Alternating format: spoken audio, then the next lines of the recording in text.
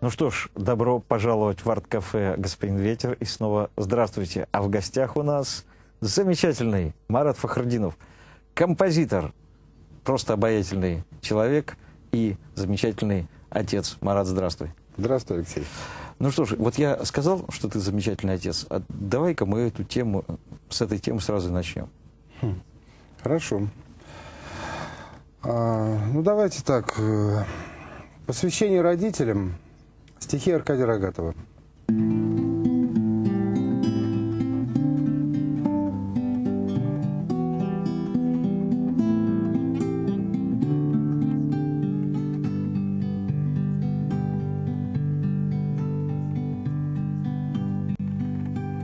Уходят наши родители Уже и не по одному Не старые долгожители В неведомую сторону.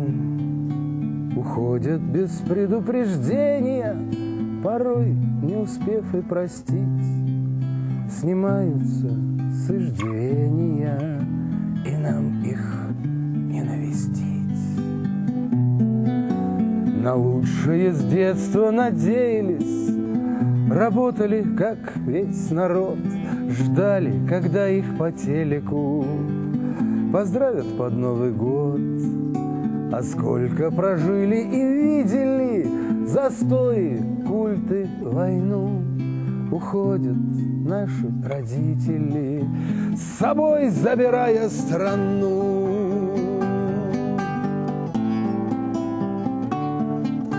А с ними и даты, и праздники, Далекой родни адреса Уходят, как прятки и классики, Учителей голоса. Уходит и детство, и прошлое взамен, Не прося ничего. Лишь память несется порожняя В ночи, как разбитый вагон себя утешая молитвою под бременем грустных примет.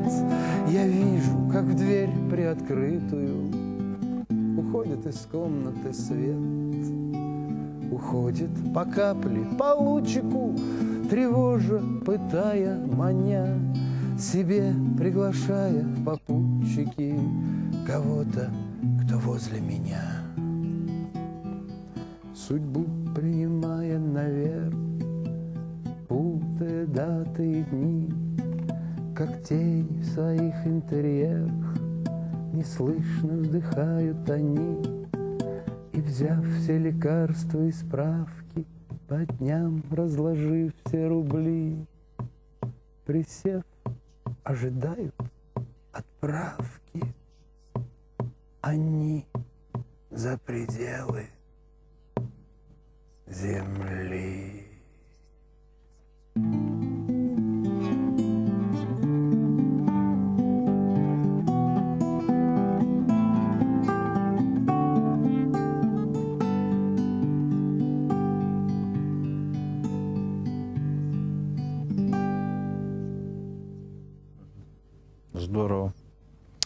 Просто открыл для меня этого поэта. Я, честно говоря, не знаком с его творчеством. Ну, спасибо, Марат, огромное. Спасибо. А, а, вот ты знаешь, э, ну, всегда же ты э, где-то э, где-то там, на подкорочке, вот когда смотришь, слушаешь новых и смотришь на новых исполнителей, да, где-то как-то их сравниваешь, да, вот кого бы ты, кого бы ты вот мог выделить из молодых исполнителей сейчас? Ты знаешь, много замечательных ребят есть. Э, Кого бы я вы- выделил? Ну, в первую очередь, конечно, Пашу Фрудина. Да. Вот. э, Ну, в этот, э, в этот перечень бы я бы с удовольствием поставил Гриша Донской. Ты знаешь, вот бываю вот на а, всевозможных фестивалях. Ну вот я бы выделил Никиту Дорофеева. Никита Дорофеев, замечательный. Рома Филиппов. Вот, кстати, насчет молодых. А, ты знаешь, э, удивительная история. Вот не далее, как неделю назад, я имел честь быть э, членом жюри на фестивале «Зимородок». Мгм. И вот лауреатом в номинации «Композитор» стал человек, которому три годика. Я подошел к маме, я говорю, Люба, а это как вообще? Человеку три года, автор музыки. А она говорит, а очень просто. Папа пишет стихи. А, я, говорит, эти стихи читаю ребенку. Вот. Она их запоминает и ходит, вот, э, повторяет, повторяет какие-то. Потом она напевает их. Потом я, говорит, это записываю на диктофон, что она напевает. Потом беру гитарку и начинаю играть, и ребенок поет. Вот. Папа пишет стихи, соответственно, возрасту угу. человека. Три годика ребенку, автор музыки. Да, да. Ну вот, кстати говоря, вот еще один фестиваль. А, мы посвящали а, этому фестивалю «Зимородок» целую передачу. Я бывал на нем раза да, три. Да, я знаю, да, я знаю. Вот. достаточно интересный фестиваль и достаточно интересная там э, интересная молодежь собирается, да. да. Вот. Но я хотел, знаешь, вот сейчас еще о чем поговорить.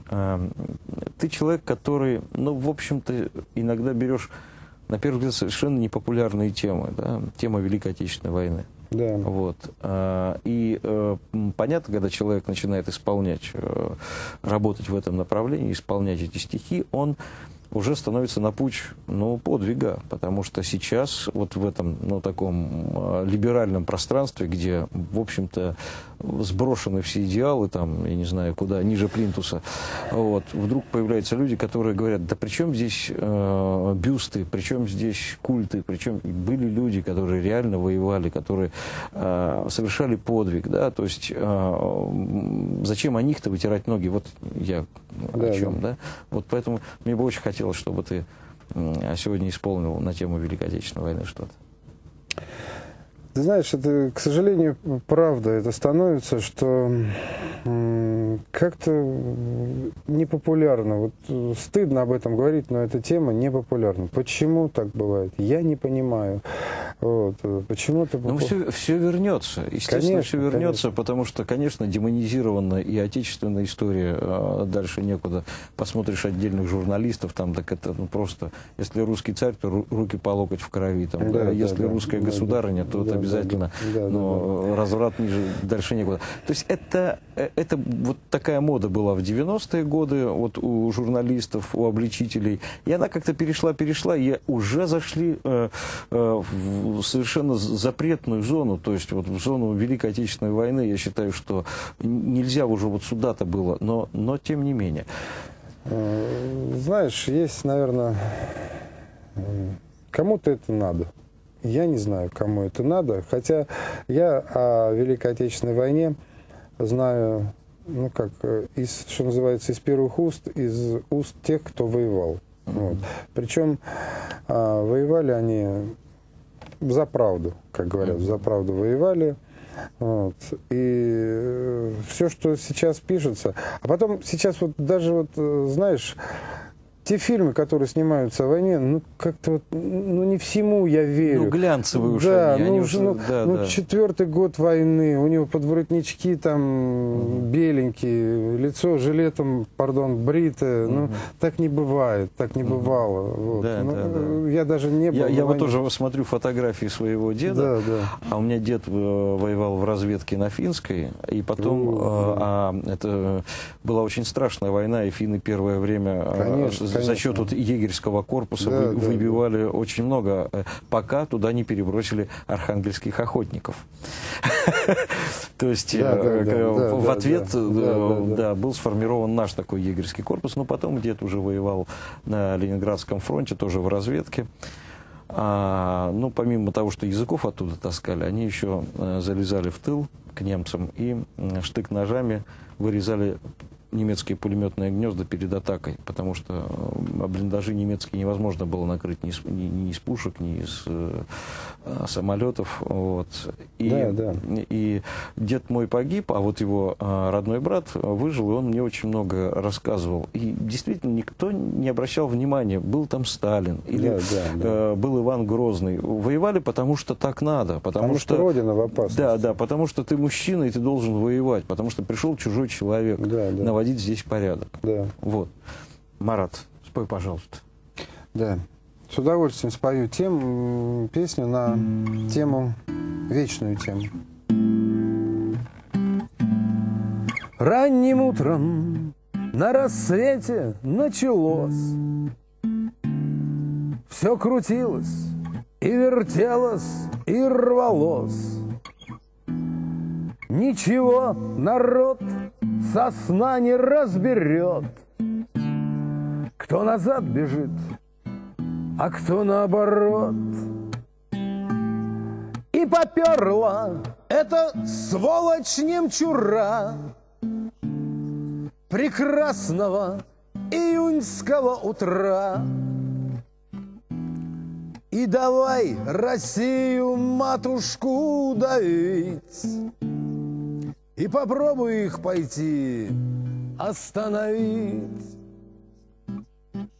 Их на совесть, их на горло не возьмешь. Красноречием назад не повернешь. Только пуля, только штык или приклад. А для этой цели надобен солдат. А солдатом не рождается никто, А солдатами становятся потом, Когда некуда уж пятиться назад — когда смерти ты глядишь глаза в глаза. А солдата дома тоже кто-то ждет. А солдат возьмет с войны и не придет. У солдата на войне короткий век, а солдат он, в общем, тоже человек. Ай, солдаты, оторвавшиеся от земли, В штыковую рукопашную пошли. Немчуре кричали «Матерь вашу так!» И ложились кто на дзот, а кто под танк. До Берлина наше горе пролегло. Наших сорок миллионов полегло. Это ж надо, чтобы нам с тобою жить. Наших сорок миллионов положить. Это ж надо рассудок потерять чтоб солдатским телом землю удобрять. Вовек должны такого не забыть, Их живых и мертвых помнить и любить.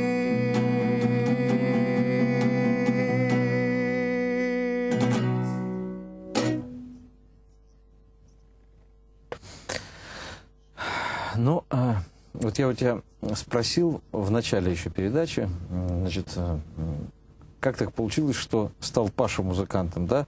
А я у, не, у тебя ни, ни, ни разу не спросила, как ты пришел к музыке. Ты по профессии музыкант или у тебя Нет, нет, по профессии нет. Дело в том, что... В смысле, по диплому я теперь буду так говорить. Нет, по, диплом, по диплому я совершенно не музыкант. А, я работаю в заводе. Мы делаем топливо для атомных станций. Будем говорить так. Больше ничего об этом не буду говорить. Вот. А на самом деле, э, как было, то есть где-то лет, наверное, класса седьмого, шестого я первый раз взял в руки гитару, какие-то там аккордики стали брать, стал брать. Потом как-то э, позвали меня на танцах играл. А, ну то есть это не, не, не с туристических походов? Нет, нет, нет, это уже было потом. Я вообще к авторской песне пришел, ну я знал до армии, там, до 77 -го года я знал, я боготворил Высоцкого, там, Галича, Акуджаву. Э, Висбора, к своему студу, я еще не знал тогда. Ну, вот. То есть Галича знал, а Висбора да, нет. Вот да, да, да, да, да, да. Первый раз такой слышу. Да. Вот, да, вот, да.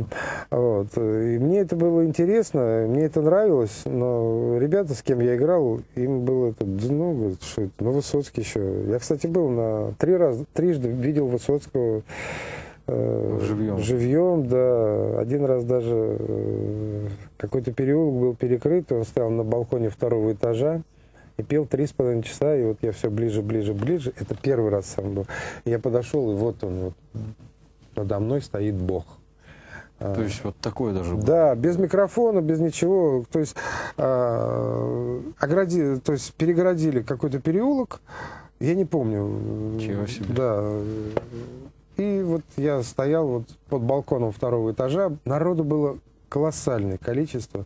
И вот он стоял, одна, периодически менял ногу, э, то правую, то левую ногу, ставя ее на табуретку.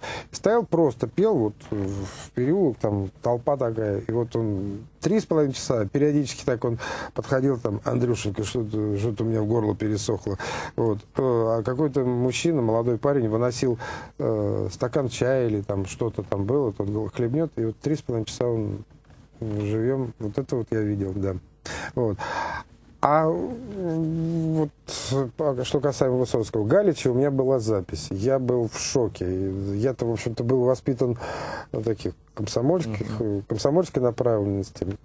И когда э, я слышал Галича, для меня это было после того, как э, я понял, э, слушая Галича Высоцкого, я однажды для себя понял, что этих ребят петь нельзя.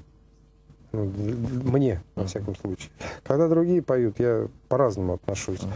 Вот. А вот... э, Мне, кстати говоря, нравится очень женское исполнение Высоцкого. Вот, вот, да, такой парадокс. Мне кажется, что женщина, как ни странно, поет его точнее, чем... э, потому что мужчина начинает как-то копировать. Наверное. Э, Ну, ладно, мы сейчас не будем э, в детали да. уходить, там, э, это исполнение Высоцкого или Галича. Мы лучше продолжим о тебе. Ну и дальше. Как Вот, дальше э, развивалась твоя биография? В армии так вот случилось так, что я служил в ракетных войсках в стратегическом значении. Был у нас ансамбль такой. Вечерами мы собирались, играли. Хорошая бригада у нас была такая. А после армии э, как-то так э, получилось, э, пришел в авторскую песню. Будем говорить так, клуб тогда образовывался. Вот, Клуб ну, «Ключ» теперь Ключ, знаю, да, ключ. Вот. Во-первых, мне э, очень понравились ребята, которые там организовали. Вот. Они м, такие... Это уже 80-е, наверное. Да, это 86 год. э, э, То есть Мы с первое- тобой практически в одно время. Да. я в 87-м... в 85-м они организовали городской конкурс. Вот, в 86-м. И вот с этого времени, вот, ну, вот мы, сейчас мы поем шестером, то есть на голоса раскладываем. Там, Гитарное, конечно, владение у нас, мягко говоря, хромает, но голосами мы стараемся, в общем-то, как-то э, приумножить, приукрасить. Э, Поем в основном классику. Вот. А вообще, ну, нравится мне, что тогда... э, Но в 80-е годы, конечно, это был такой воздух Да, сумасшедший, да, да, он был да, пьянящий, да, да, воздух да. любви. То есть вот я помню, тогда пришел в Смоленский клуб. А, ну, я не буду, конечно, везде в семье не без урода, кто-то был Да, и да, да, да, там, да. эм, так сказать, эм, вываливался из этой, кто-то с какими-то извращенными амбициями приходил. Это, Да, да. это, Это понятно. нормально, в но, общем-то, но, да. но в принципе воздух был очень здоровый. Да, он, да, э, да. он был очень позитивный. И все как-то как-то были все вместе. То есть это была какая-то любовь. э, Совершенно, я, я- помню, вот это нечеловеческая. Да, да, да. Мы не могли расстаться там. э, Да, У да. меня даже есть э, э, такие, э, такие строчки, что э, э, э, как же там, э, что-то там, э, мы спали в парках э, на скамейках, чтобы друг друга с утра не искать. Ну, вот такая, Да, да, да, да, да, вот. э, Это, конечно, был, да, сумасшедший воздух. А потом немножечко такой э, пришел, пришла эпоха 90-х, пришла эпоха реализации амбиций, появилось слово творческая карьера, Да, появилось, появились различные, не будем говорить, бизнес-проекты, связанные Мгм. с авторской песней. И вот с этого момента, вот лично для меня, а, началось вот э, именно затухание с точки зрения вот э, человеческих отношений. Вот. Ну, Нет, ну понятно, что кому надо, те, те, те сохранили. Я говорю в целом, потому что вот молодежь, которая сейчас при, приходит, у них э, все равно не то, э, ну, не тот воздух, не тот микроклимат. Ну, конечно, всему свое время, наверное. Знаешь, Леш, э, мы тогда умели радоваться друг за друга. Если кто-то становился... Мы же в конкурсы все лезли всегда да, в конкурсы. Да, да. Еще и, и поддерживали друг друга. Да, да. поддерживали там. Никто если струны не подпиливал. Кто-то кто там становится лауреатом. Ура! Я да, так да. рад за него. Когда я становился лауреатом, там, сколько, вот, за меня радовались, там, я за людей радовался. Это было нормально. Потом эти слеты, сейчас фестивали, а тогда это были да. слеты, там, э, обрубание хвостов, там, э, при, приезд там такими окольными путями на фестиваль, на слеты приезжали. Тогда это было очень интересно. Вот. Марат, у нас осталось две минуты. Давай потратим эти две минуты э, на песню.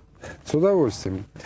А, я сейчас спою песню на стихи моего друга «Любовь сердечная». Написал это стихотворение. А, «Любовь сердечная» — это не псевдоним, это по паспорту. «Любовь сердечная». Она, кстати, живет сейчас в, в Смоленске. Да-ба-да-ба-да-да,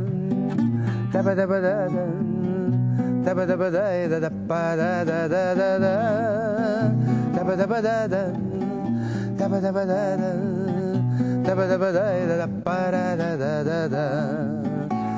Вези меня, ледянка, в детство, где мне совсем не больно падать, Где чур от всех напасти средства, Где каждая снежинка в радость, Где папа молодой и сильный, Где плакать хочется без мамы, Где лес и розовый, и синий, Дед Мороз такой румяный, где ничего вкусней сосульки, Где сам себе игрушки клеишь, Где кашка манная в кастрюльке, А апельсин, когда болеешь. Да-ба-да-ба-да-да,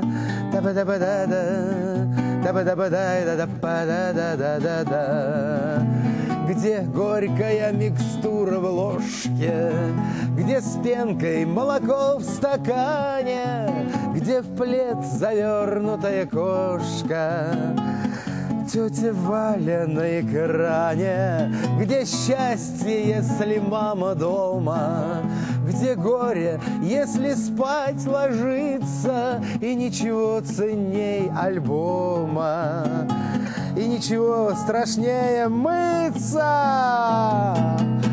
Где мандарины пахнут елкой, где под столами новоселье, где нос кусает шарфик колки, а угол плата за веселье. Та-ба-да-ба-да-да, та-ба-да-ба-да-да, та-ба-да-ба-да-да-да-да-да-да где примерзают губы к санкам, И где еще не стыдно плакать. Вези меня вперед, ледянка. Ты знаешь, а я умею падать. Там папа молодой и сильный, хочется без мамы плакать. Вези меня вперед, ледянка. Я научился падать. Таба-да-ба-да-да, эй! Таба-да-ба-да-да-да-па-да-да-да-да. Таба-да-ба-да-да, эй! Таба-да-ба-да-да-па-да-да-да-да-дам. Марат Фахридинов. Марат, спасибо огромное, что, спасибо, Алексей. Да, что выбрался.